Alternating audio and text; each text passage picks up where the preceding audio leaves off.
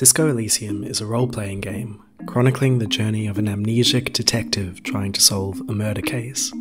You play as Harry Du Bois, stumbling through a fictional city that has been subject to war and political upheaval. The murder mystery has the chance of reigniting old conflicts and setting alight tensions that hang in the air. The themes of the game are chaos and redemption, how the events of our lives can break us, and how we can heal, putting the pieces back together again. It also raises two important questions. Can video games be seen as a form of art? And if so, what can they teach us about the human experience? This is the world according to Disco Elysium.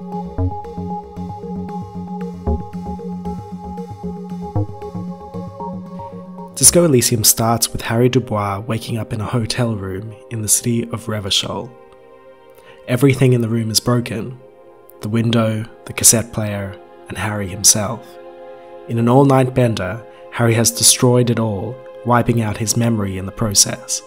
He does not know who or where he is and must discover this over time. He does so with the help of his trusted sidekick, Kim Kitsuragi. Where are we, Lieutenant Kitsuragi? In Elysium, he replies. Behind our eyes, like all human beings, detective. He looks around and sighs. The world is what it is. I'm glad to see you're stable. Keep it that way. Waking up, Harry is confronted by a cacophony of voices inside his own mind. The voices are pushing and pulling him in different directions. They are personifications of different parts of his personality. This includes the part that remembers being a cop and a team player, or the part that remembers the drug fueled rampage of the night before. As the player, you get to choose which part to listen to. When Harry is confronted by a hotel manager demanding the bill for the night, the drama part of his personality might suggest doing something theatrical, while the authority part might suggest doing something aggressive. The effect of hearing each part of Harry's personality is profound. This is a character at war within themselves. No matter what choices you make, you are disobeying certain parts of Harry's personality. In making decisions, you are picking sides in that war. In Disco Elysium, the self that is constructed is always burdened by the mistakes of the past. Harry is running away from his memory, his amnesia is intentional. He has suffered from heartbreak and tragedy and would rather burn down those bridges than walk over them. As one character tells him in the game, you are a violent and irrepressible miracle. The vacuum of cosmos and the stars burning in it are afraid of you. Given enough time, you would wipe us all out and replace us with nothing, just by accident. To represent his flight from himself, the game has a morale meter, where discovering memories of the past depletes one's morale, equivalent to losing health and eventually leading to a kind of death. The symbolism is clear. Our past can catch up to us, our past can destroy us in the present, and we can never run far enough away from who we used to be. But there is hope. Despite his fractured self, Harry is on a murder case. He has a job to do. Like all heroes, he is on a journey.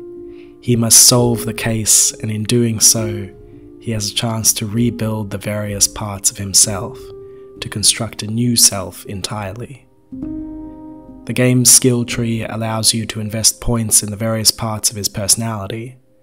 By acting in his defined role, Harry can become a new man by committing himself to action, he can create new memories and therefore a new life. There are many layers of psychological ideas underpinning this. In psychology, there's the idea that there are many parts of the self pulling us in different directions. The well adjusted person accepts the totality of themselves, creating a full integration of past and present. This is more difficult than it at first sounds. Psychologist Carl Jung discusses this as a confrontation with the shadow part of the self. People will do anything, no matter how absurd, he says, in order to avoid facing their own souls. One does not become enlightened by imagining figures of light, but by making the darkness conscious. The shadow, that hidden, repressed, for the most part inferior and guilt laden personality, whose ultimate ramifications reach back into the realm of our animal ancestors. Harry Du Bois is such a character, doing anything he can to avoid his own past, and yet it is only through the full integration of his past with his present that he can move on and become a new man. Out of all the games that I've played, Disco Elysium seems to answer the question of whether games can be a form of art. The answer is a resounding yes, through the exploration of deep themes in psychology and philosophy and politics. It proves just so. Disco Elysium is also beautiful. It is beautiful in the way that it combines personal tragedy with redemption, but it is also beautiful in the traditional sense. The art is depicted in watercolours, so that Harry and the other citizens of Revachol exist in a surreal space unto themselves, like memories of washed out figures of the past or distant future. The art is inspired by Rembrandt, Saville, and Kandinsky, not aiming for realism as such, but a confronting boldness and playfulness of colour and light. Revachol is a place with higher contrasts than the real world. Colours clash in the sky and on the water, in the back streets and in the middling alleyways, playing across the spectrum of light. It is in this contrast that we find a form of truth. All art is a representation of reality, but Disco Elysium seeks to confront us with the opposites of life the push and pull, the collapse and the rebirth, the bright and the dark. The contrast is intentional and almost painfully so. Ultimately, however, the message is hopeful. No matter how broken you may be, there is always a way back.